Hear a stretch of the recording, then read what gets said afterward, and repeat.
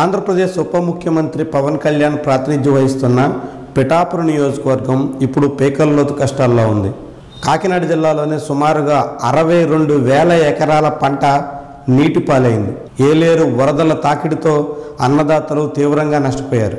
ఇప్పటికే మూడు రోజులుగా వర్షపు నీరు చేరి పంట పొలాల్లో నిలవ ఉండిపోవడంతో రైతులకు అపారమైన నష్టం సంభవిస్తోంది. ఎకరానికి ముప్పై వేలు పైబడినటువంటి పెట్టుబడి పెట్టిన రైతులు పంట చేజిక్కుతుందన్నటువంటి దశలో ఇలాంటి నష్టాలు చవి చూడడంతో కన్నీరు మున్నీరవుతున్నారు కౌలు రైతులైతే ఇంకా మరింత కష్టాల్లో కూరుకుపోతున్నామని ఆందోళన వ్యక్తం చేస్తున్నారు. అలాంటి కౌలు రైతు ఒకరు ఉప్పాడ కొత్తపల్లి మండలం నాగులాపల్లిలో హఠాన్ మరణం చెందారు.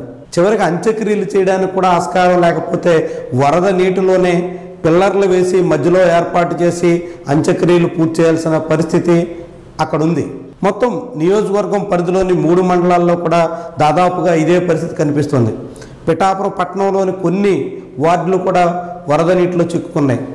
దాదాపు మూడు నాలుగు దశాబ్దాల తర్వాత ఇదే పెద్ద వరదగా చెప్తున్నారు.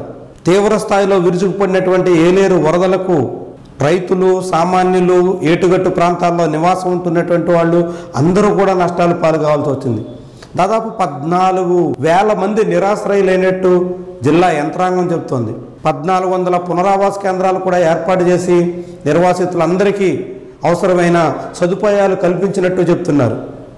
ఏలేరు ఆయకట్టు ఆధునీకరణ పూర్తి కాకపోవడం పడిన గండ్లు పూడ్చకపోవడంతో ఈసారి అపారమైనటువంటి నష్టానికి కారణమైంది.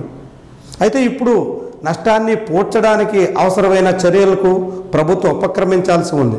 పిఠాపురం తాలూకా అంటూ మొన్నటి వరకు గొప్పగా చెప్పుకున్నటువంటి వాళ్ళు ఇప్పుడు పిఠాపురం తాలూకాలనే ఎదురైన నష్టాంతో తీవ్రంగా కలత చెందుతున్నారు.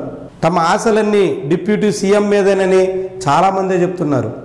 ఉప ముఖ్యమంత్రి ప్రాతినిధ్యం వహిస్తున్న నియోజకవర్గంలో ఇంతటి విపత్తు సంభవించిన వేళ ఆయన ఉదారంగా స్పందించాల్సిన అవసరం కనిపిస్తోంది. ప్రభుత్వం ఇప్పటికే రైతులకు ఎకరానికి పదివేల రూపాయలు నష్టపరిహారంగా ప్రకటిస్తోంది. ముఖ్యమంత్రి చంద్రబాబు నిన్న ఏలూరులో జరిగిన సమావేశాల్లో దానికి సంబంధించి ఒక ప్రకటన అయితే చేశారు. పదివేలు ఏ మూలకు సరిపోతాయని రైతులు ఇప్పుడు ఆందోళన వ్యక్తం చేస్తున్నారు. గతంలో వరద నష్టాలకు పంట నష్టపోతే జగన్మోహన్ రెడ్డి హయాంలో దాదాపుగా పాతిక నుంచి ముప్పై వేల రూపాయల వరకు నష్టపరిహారం అందుకున్న రైతులు ఉన్నారు. కానీ ఈసారి అందుకు భిన్నంగా కేవలం పదివేల రూపాయలు మాత్రమే ప్రకటిస్తుండడం పట్ల అందరూ ఆందోళనతో కనిపిస్తున్నారు.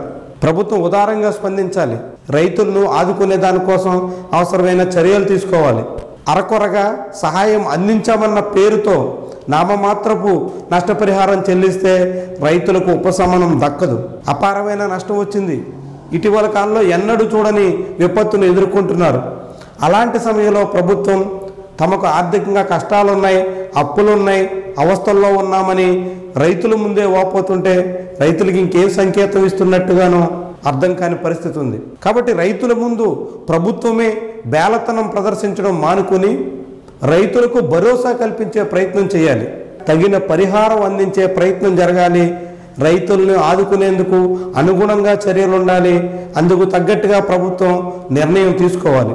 లేదంటే ఈవేళ ఒక కవులు రైతే ప్రాణం విడిచి ఉండొచ్చు. ఇలాంటి విపత్తు నుంచి గట్టెక్కడానికి ఆస్కారం లేని అనేక మంది బలవన్మరణాలకు పాలయ్యే ప్రమాదం ఉంటుంది. అలాంటి సమస్య రాకుండా ప్రభుత్వమే వారందరికీ అండగా నిలవాలి వారిని ఆదుకోవాలి. అందుకు తగ్గట్టుగా నష్టపరిహార ప్రకటనలు ఉండాలి. అప్పుడే ఏలేరు బాధిత రైతాంగానికి ముఖ్యంగా పిఠాపురం తాలూకా ప్రజలకి ఉపశమనం దక్కుతుంది.